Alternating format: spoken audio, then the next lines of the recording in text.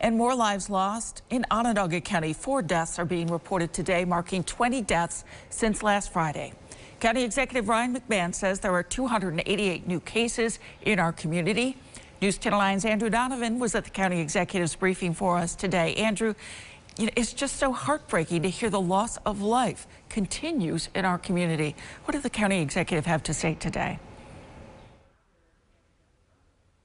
Well, Christy, 20 people have died since Friday. So while so many people, the same time that they were maybe enjoying their weekend off from work, of course, enjoying it safely, 20 families around Onondaga County learned that a loved one won't be here to even virtually celebrate the holidays. They're gone because of coronavirus. And that's one thing the county executive is saying. If people didn't believe that Halloween led to a problem, then they need to believe Thanksgiving did and better make some changes long before the actual Christmas holiday and avoid gatherings. The other big conversation today at the briefing was the vaccine. We know that the state of New York plans to vaccinate 10,000 people today. That doesn't appear, though, to be any anyone in central New York as of the best knowledge we have. The county executive says he isn't aware of any shipments of the vaccine making its way to Onondaga County as of yet, but hopes they get here within the next 12 to 24 hours to start making sure that hospital workers and nursing home residents are among the first to get those shots.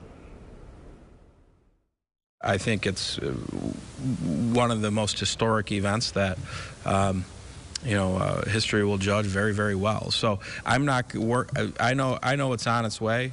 Uh, if it gets here tonight, I hope they start vaccinating, uh, and if it gets here tomorrow morning, I hope they start vaccinating.